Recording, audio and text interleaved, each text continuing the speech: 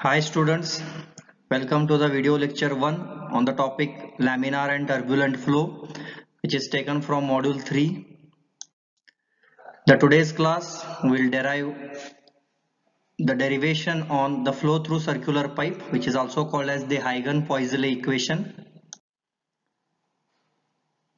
So this Hagen-Poiseuille's theory it is based on the following assumption that means the fluid which is flowing through this circular pipe it follows the fluid follows the Newton's law of viscosity. That is shear stress that is, is given by tau is equals to mu into du divided by dy. And there is no slippage of the fluid particles at the boundary. That means the fluid particles adjacent to the pipe wall will have zero velocity. This is the nature of the fluid that means the first layer of the fluid particle when it comes in contact with the solid surface it sticks to the surface. That means no slippage of the fluid particles will take place. That means the fluid velocity will always be zero at the solid surface. So consider the same sketch we have taken here. Consider a horizontal circular pipe of radius r. This is the radius r. Having a laminar fluid flowing through it. So in this circular pipe circular pipe horizontal pipe of radius r having a laminar fluid flowing through it. Laminar fluid is flowing through it. So consider a cylindrical fluid element of radius small r. The radius of the cylindrical fluid element is small r and length dx. This cylindrical fluid element it is sliding in a cylindrical fluid element of radius r plus dr. So this is this circle this is the radius of the cylindrical fluid element. So another fluid element is there of radius r plus dr. So this is the thickness dr. So its radius will be r plus dr. So this cylindrical fluid element of radius r and which is having length dx it is sliding in a cylindrical fluid element of radius r plus dr. So now what are the forces acting on this fluid element we'll study. This p is pressure p is acting on this face ad that is on the left end or we can call that pressure P is acting on this cross sectional area AD which is in the direction of the flow. That means cross sectional area of this fluid element on the left hand it is given by pi r square area. P into pi r square is acting on the left end whereas pressure force P plus dou p upon dou x into dx. Already I have written here pressure force p plus dou p upon dou x into dx is acting on this face BC that is on the right end of this cylindrical fluid element. So this indicates P indicates pressure plus dou P upon dou X indicates change of partial pressure in the X direction through a distance dx is acting on this cross sectional area. That is pi r square which is acting opposite to the direction of the flow here. You can see here. Then another force that is shear force which is given by 2 it is acting on the surface of this cylindrical element. So surface of this area of this cylinder is given by 2 pi r into L. Here L is nothing but here dx. dx is the length of the cylindrical fluid element so the shear force is acting on the entire surface of this cylindrical fluid element. The surface area of that cylindrical fluid element is given by 2 pi r into dx. So now for steady flow, the net force on the cylinder must be zero. That means the net force acting on the cylindrical fluid element must be zero. Now we have written those equations. It is P into pi r square minus dou p plus dou p upon dou x into dx into pi r square minus tau into 2 pi r into dx equal to 0 so if I will elaborate this equations p into pi r square minus p into pi r square this will be minus dou p upon dou x into dx pi r square minus tau into 2 pi r into dx equal to 0 so this p into pi r square this p into pi r square gets cancelled. So my equation remains in this form. So i have shifted this equation to the right side. So my final expression will be minus dou p upon dou x into dx pi r square equals to tau into 2 pi r into dx so uh, the, the terms which are common i have cancelled on both the sides.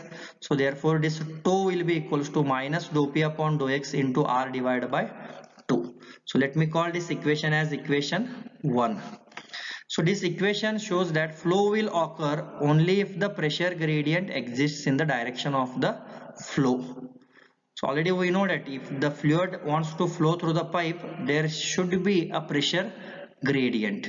If there is no any pressure difference then the fluid will not flow through the pipe. So this is the shear stress distribution across the circular pipe it is shown in the sketch here. So now we will calculate the velocity distribution. So from Newton's law of viscosity we know the equation that is the shear stress tau is give is equals to mu into du divided by dy. So in this equation this distance y is measured from the boundary that is small y is given by capital R minus R. So I will tell you y is measured from this boundary of the circular pipe that is from the wall of the circular pipe.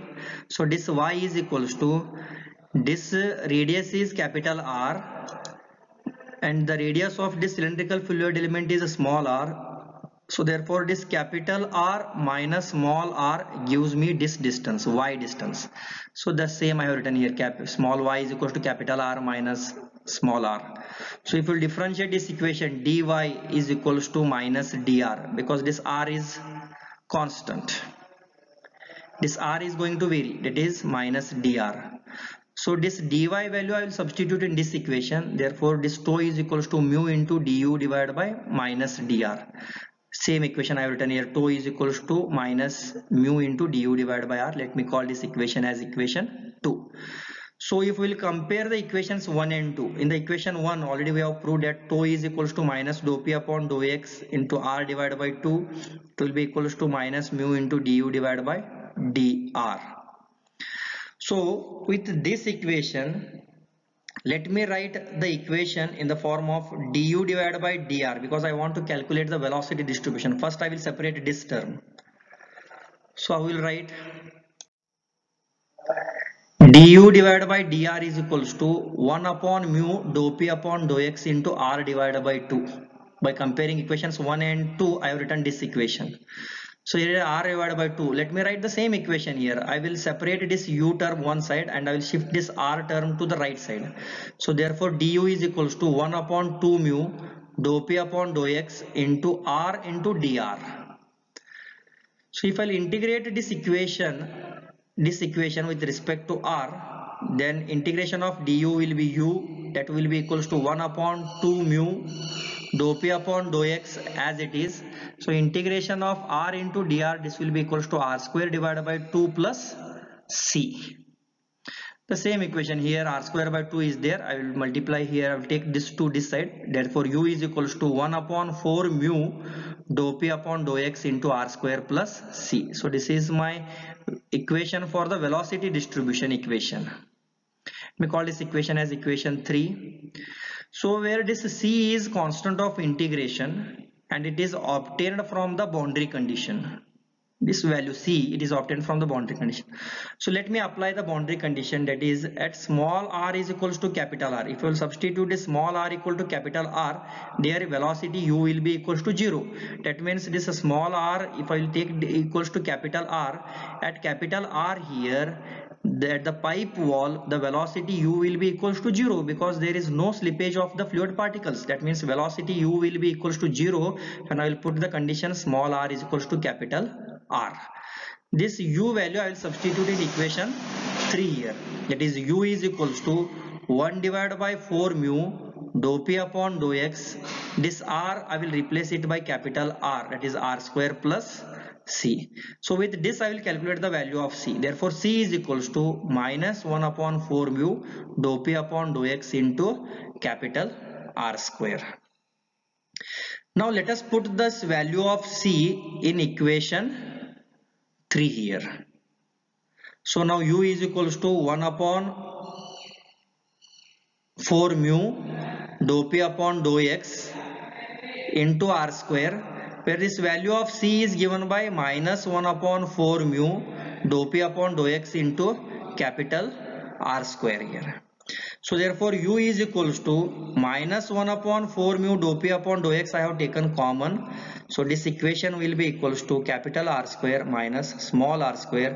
So this equation let me call this equation as equation 4. So this is the final expression to calculate the velocity distribution equation for the flow through a circular pipe.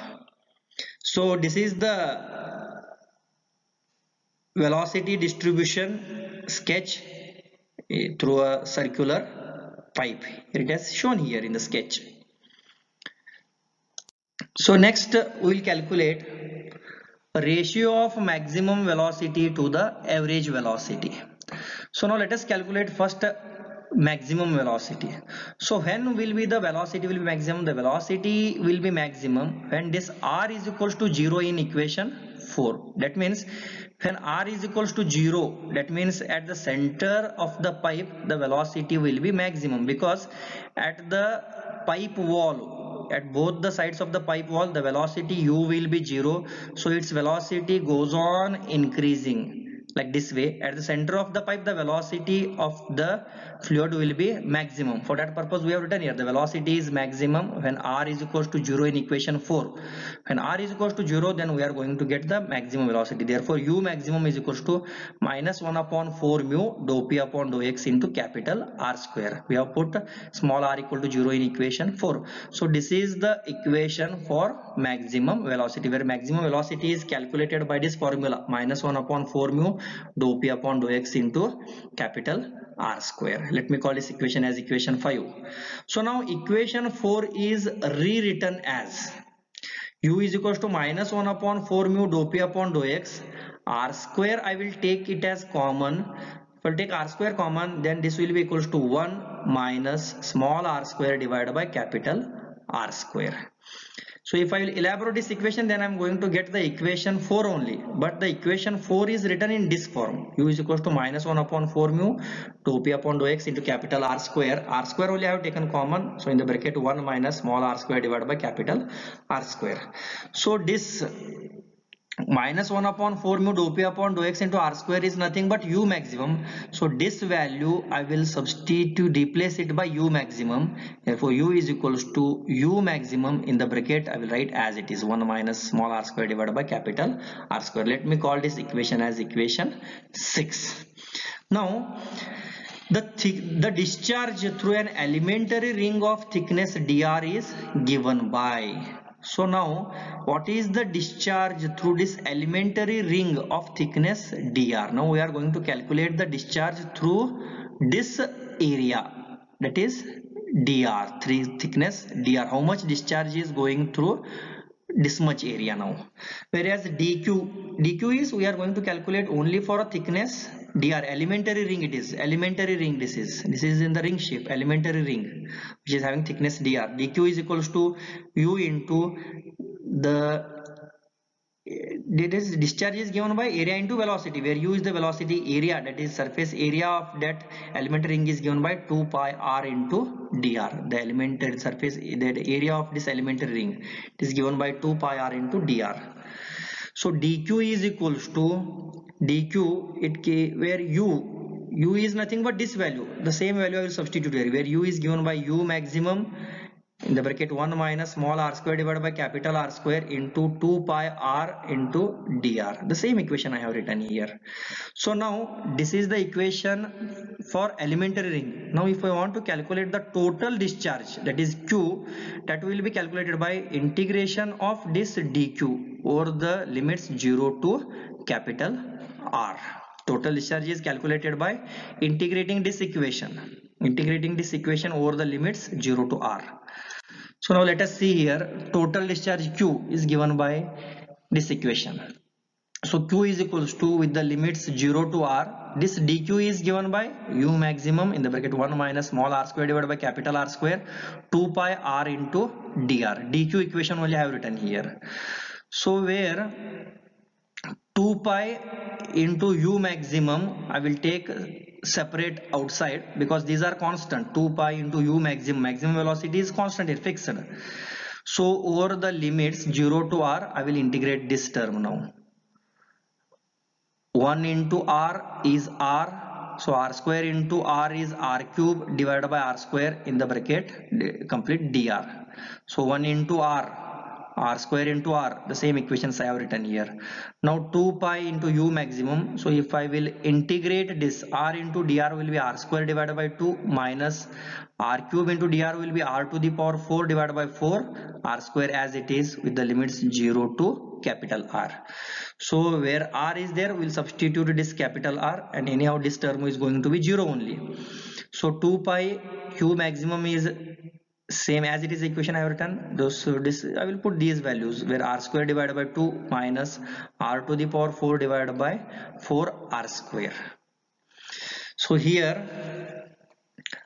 r square term and r square term gets cancels here. So my equation will be remaining 2 pi into u maximum r square divided by 2 minus r square divided by 4 so here LCM will be 4 only. So this will be 2 r square minus r square. This will be r square only. So my final expression will be q is equals to 2 pi into u maximum. So if i will solve this so my final expression will be r square divided by 4 so again here 2 uh, 2 and this gets cancels so my final expression q will be equals to pi divided by 2 r square into u maximum where total discharge is given by this formula. Q is equals to pi upon 2 pi upon 2 r square into u maximum.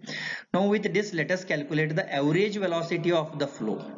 So whereas average velocity of the flow is calculated by the symbol u bar that is u bar is equals to total discharge divided by area.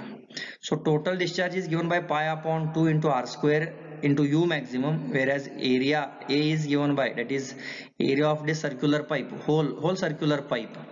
Because we are going to we have calculated the discharge for this circular pipe entire circular pipe. That is pi r square. So pi pi gets cancels r square r square gets cancelled. So therefore average velocity u bar will be equals to u maximum divided by 2 let me call this equation as equation 7 so we can write the same equation that u maximum divided by u bar is equals to 2 also with this equation only. So equation shows that average velocity is half of the maximum velocity or this equation 7 can also be written in this form. U maximum divided by u bar is equals to 2 that means maximum ratio of maximum velocity to the average velocity is equals to 2 so in the exam he may ask prove that average mm, average velocity is half of the maximum velocity or prove that max average ratio of maximum velocity to the average velocity is equals to 2 so up to here you have to derive the equation. So next drop of pressure for a given length L of the pipe so equation 7 it shows that average velocity u is half of the maximum velocity. So where u bar is equals to let me substitute the value of this u maximum here minus 1 upon 4 mu dou p upon dou x into capital R square u maximum value is given by divided by 2 as it is then this equation will be equals to minus 1 upon 8 mu dou p upon dou x into capital R square. So with this equation only I have written the, equation in this form. That is 8 mu into mu bar into dx cross multiplication. 8 mu mu bar into dou x that will be equals to minus dou p into r square. Equation remains as it is. The same equation I have written in this form. So as I want to calculate the drop of pressure pressure I want. So I will separate this dou p term one side and I will take all the other terms to the right side. So therefore minus dou p that will be equals to 8 mu mu bar into dou x divided by capital R square. So if we integrate this above equation with respect to x, so integration of minus dou p over the limits 1 is to 2 that means over the section 1 to section 2 so that will be 8 mu mu bar divided by r square will be common. So integration of dou x over the limits x1 to x2 over the limits x1 to x2 you can see here in the sketch i have drawn here already.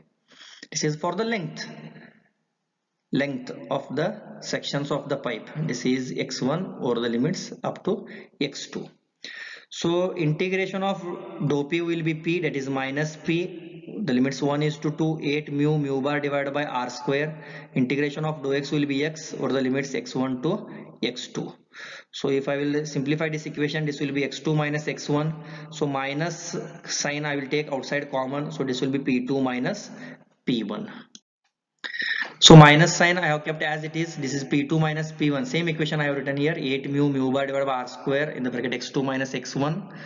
So minus into minus plus. So I have written the equation in this form. P1 minus P2 equals to 8 mu mu bar divided by R square. Whereas x2 minus x1 is replaced by L. You can see here. This distance is x2 minus x1 that will be equals to L so I have replaced x2 minus x1 by L so P1 minus P2 is equals to 8 mu mu bar into L divided by R square where R is nothing but half of the diameter so P1 minus P2 is equals to 8 mu mu bar into L where R is replaced by D divided by 2 half of the diameter whole bracket square so this will be 8 mu mu bar into L divided by D square divided by 4 so P1 minus P2 will be equals to 32 mu mu bar L divided by D square. So P1 minus P2 is nothing but the drop of pressure here. So loss of pressure head. How will calculate pressure head? That will be calculated by P1 minus P2 divided by rho g. In the Bernoulli's equation already we have proved it. P divided by rho g it indicates the pressure head. So here loss of pressure head is given by P1 minus P2 divided by rho g that will be equals to 32 mu mu bar L divided by rho into g into d square that means this equation I have divided the equation whole equation by rho into g term. So this equation is called as the Hagen-Poiseuille formula. So this is the very important derivation which will be asked in your final exam. Surely it will, if it is asked it will be asked for 10 marks question